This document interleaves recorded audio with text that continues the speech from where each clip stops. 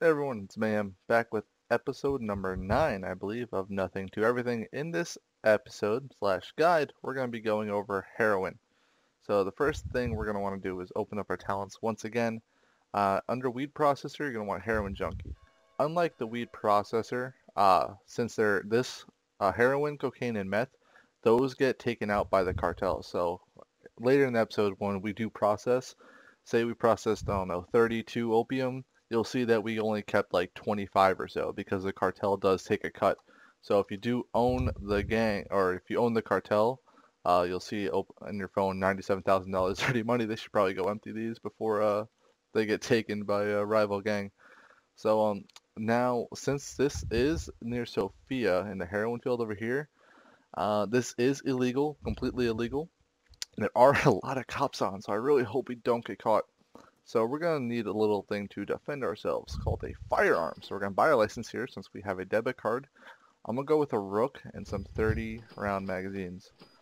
Alright, now you don't want to use this unless you really have to because if you obtain a $2,500 bounty or higher, the police will have probable cause to search you and your vehicle or if you off-road more than 10 meters without valid reason, even if you get caught inside the field within the red circle, they have probable cause to search you.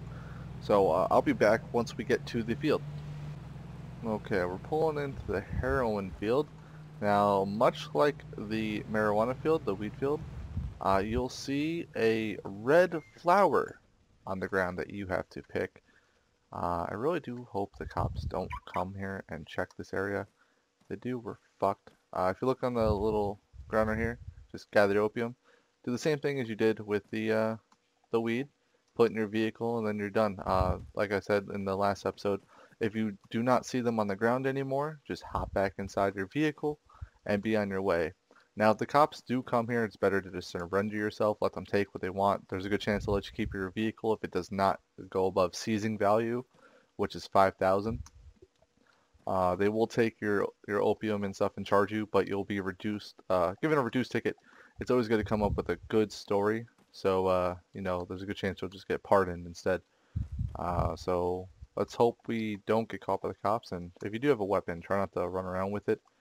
Otherwise, you know, I'll, I'll show you. It gets really annoying. You have to gather, you put your weapon away, then you take it back out, and then so on.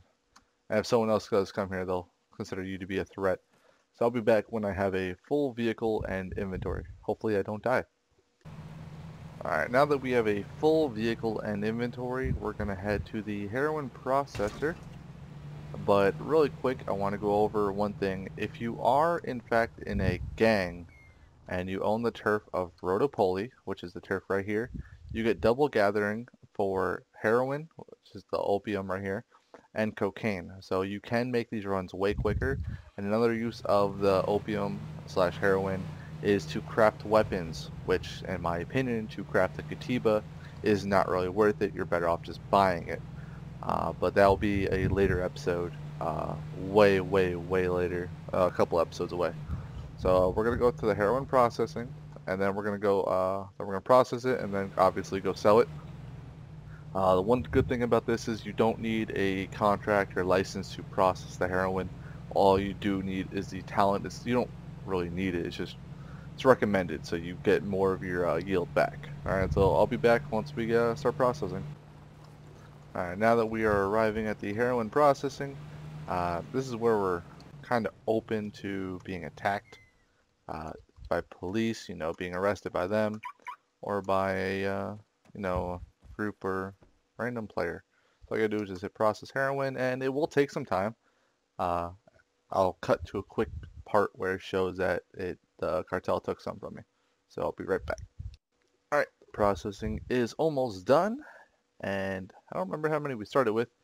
Uh, but we kept 23 and they took 6. So we started with 29 total. So what we're going to do is double click this and type in 23 and then hit swap. Double click again just hit take so you get the extra 3 or extra 6 I mean. Go back. Um, now the same thing as I was saying with the Rodopoli how you get double gathering of the heroin.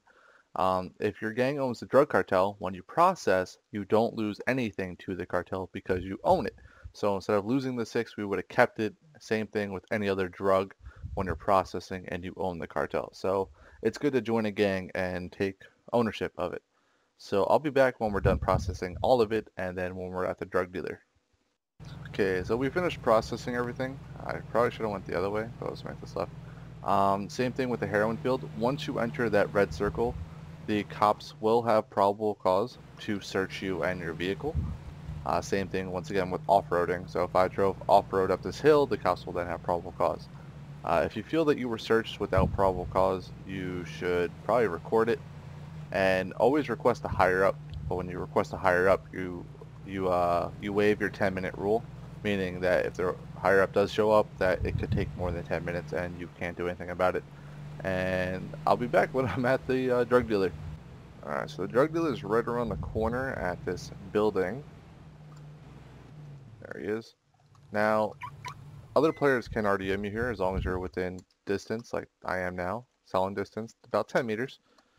Uh, we started with 79 uh, heroin or opium, right? We processed it down and we kept 62. So we're just going to double click sell everything and we're going to go to ATM as quickly as possible to store our profits. Now this is a high risk, medium reward ish. It's not one of the best paying drugs, but you do make a decent amount of money. We only used it off-road, so we could have made a shit ton more if we uh, different things. And we made $23,000 off of 62. You can always open up your phone, check your market, and click on heroin. It says current price 373. So we do 62 times 373. It's exactly how much we made. So you could always guess how much you're going to uh, make by just assuming how much the cartel will take from you. Obviously, the larger amount you process in, the more they'll take.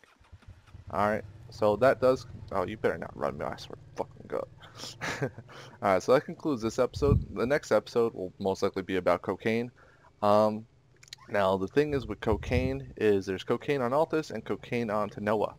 Uh, I don't know if you want me to do both, but if I do, they'll probably be two separate videos unless you guys would prefer them to be mashed up in one. Okay? If you do, just leave comments on this one and let me know. Uh, next video, I will start a giveaway as well. So look out for that next video.